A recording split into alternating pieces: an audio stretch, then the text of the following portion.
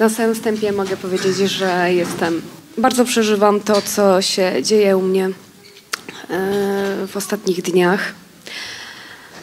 I może zacznę od tego, że w piśmie jest napisane: Posyłam was jak owce między wilki.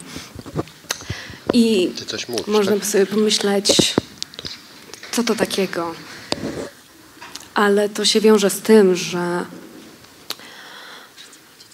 żeby pójść w miejsce, które jest dla nas niekomfortowe, w cudzysłowie to trzeba mieć no, naprawdę odwagę i chęć działania.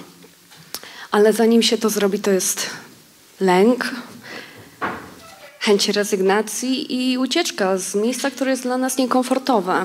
I to właśnie bardzo mocno towarzyszyło mi dwa dni temu w piątek. I jakoś tak się to potoczyło wszystko, że w piątek pod moim domem szła procesja Drogi Krzyżowej.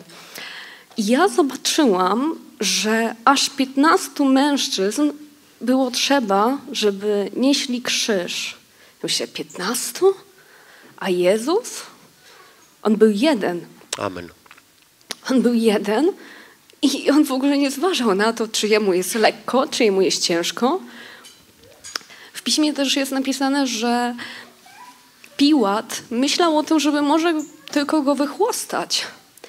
Dlaczego on zasługuje na śmierć, a chłosta? Myślicie, że to jest takie fajne i przyjemne? Ja po prostu w piątkowy wieczór byłam pełna łez, pełna smutku i jak dużo cierpienia Jezus przeżył na, przed jeszcze drogą krzyżową, że jakby wyobrazić sobie największy ciężar, jaki w życiu nieśliście, no to pomnóżcie go sobie razy 20. To może wtedy pomyślimy sobie, jak ciężki trud, jakie wielkie obciążenie Jezus wtedy niósł ze sobą. A chłosta to co? To jakieś bicze? Myślicie, że co, jak krwawi ciało, to nagle jest lżej? Po prostu leci się po całości. Więc już przed samym ukrzyżowaniem domyślam się, że po prostu wiele krwi zaczęło już ciec Amen. z blizn i ran Jezusa. I w związku z tym, kiedy już idzie na Golgotę i ma mają być przebite ręce, to wyobraźcie sobie, żeby ktokolwiek z nas dobrowolnie dał sobie przebić jedną rękę, drugą rękę, stopy i co? I, i, i my nagle stwierdzamy, że nie chcemy być w niekomfortowej sytuacji. E, I słuchajcie, ja po prostu bardzo mocno w piątkowy wieczór żyłam tym słowem, tymi obrazami. Ile po prostu cierpienia Jezus przeżył i nie uciekł od tego też myślałam dzięki temu, ile my dzięki temu w dniu dzisiejszym możemy otrzymywać przez to, co się tam właśnie wydarzyło. Amen.